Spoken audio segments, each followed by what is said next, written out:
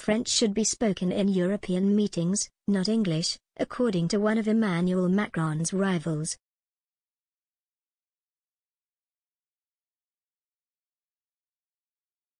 Eric Zemmour criticized the dominance of the English language in engagements involving EU leaders as voluntary servitude. If England the country is out of the EU, the language of England should be kicked out too, he argued.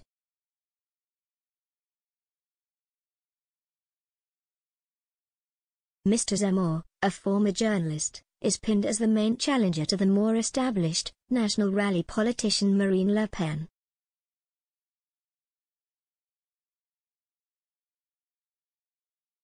He is perhaps best known for his position on immigration. Immigration is war, he said in an interview with The Spectator.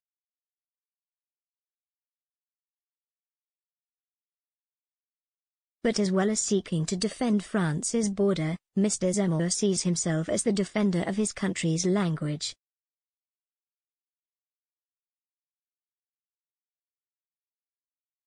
He told BFM TV, if the President of the French Republic does not defend his own language, who will?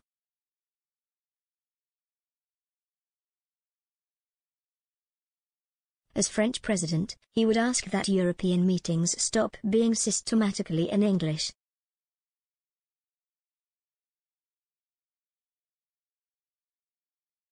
Mr. Zemmour added, there are other languages in Europe.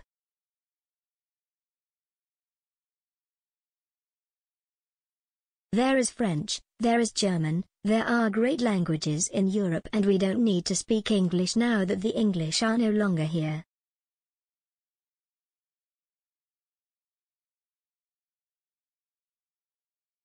He accused Britain, as usual, of failing to stick to its promise, which he claimed to have been made half a century ago, of allowing French to remain the language of single market.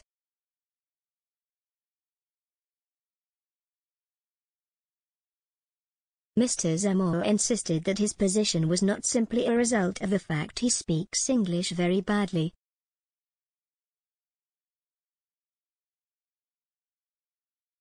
Nathalie Loiseau MEP quipped in response, as Umberto Eco said, the language of Europe is translation.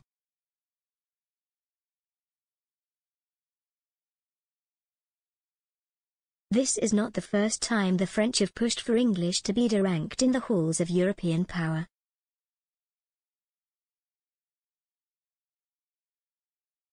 Late last year, the European Court of Auditors held its first press conference in English only following a vote.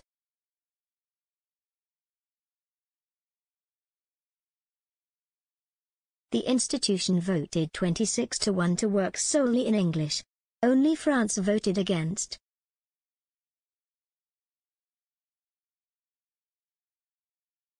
While hostile on the point of English being the stand language for European meetings, presidential hopeful Mr. Zemmour has, on a number of occasions, spoken positively about Brexit.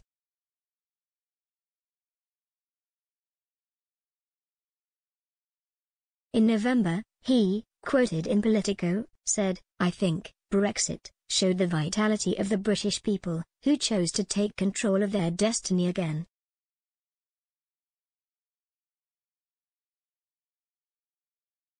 They decided to stop submitting themselves to European judges, to European technocrats.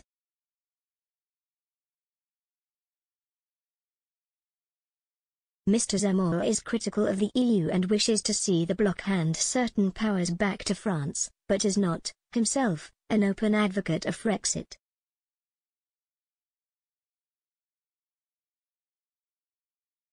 Additional reporting by Maria Ortega